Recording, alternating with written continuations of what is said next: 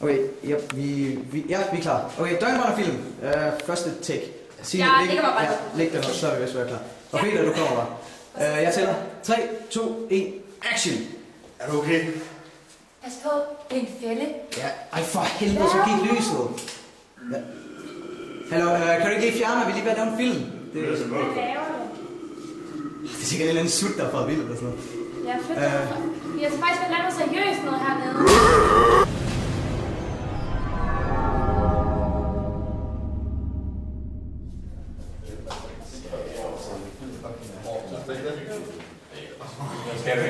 Det overvejer lidt, om vi skulle tage og... Hvad fanden er det? Der er stadig en film på. Prøv at sætte den på. Vi har faktisk været noget seriøst noget hernede. Fuck, det var weird. Jeg skulle aldrig set noget så amatøragtigt før. Så er ikke ægte ud. Bullshit. Fuck, jeg går ud og tømmer tarmen.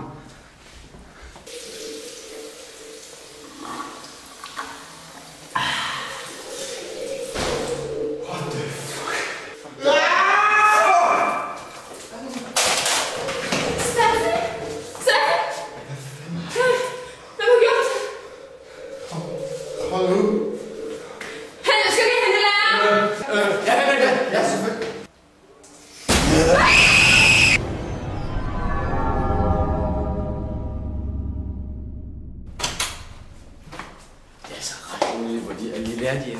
Der er ingen lærer på skolen, og det er døgnbrand. Ja, der er 300 tilmeldt, så der må altså være nogen lærer. Nej. Hvor Steffen og Maria nu blevet? De er jo væk. Ja, det kan jeg sgu godt se. De var der lige før. Vi sgu nok nødt til at finde. Ja, ja, ja. Det var godt nok mærkeligt, det der med Steffen og Maria. Jeg fatter simpelthen ikke, hvor de blev af. Nej vel? Nej. Vi, vi har let over alt. Ja, overalt. Både på mediateket, og vi har været nede i kælderen, og vi har været i billedkunst, og vi har været... Godt nok også mange mennesker, der ligger her. Se. Ja, som om vi sover eller sådan. Ja. Eller... Jamen her! Det er også forladt os!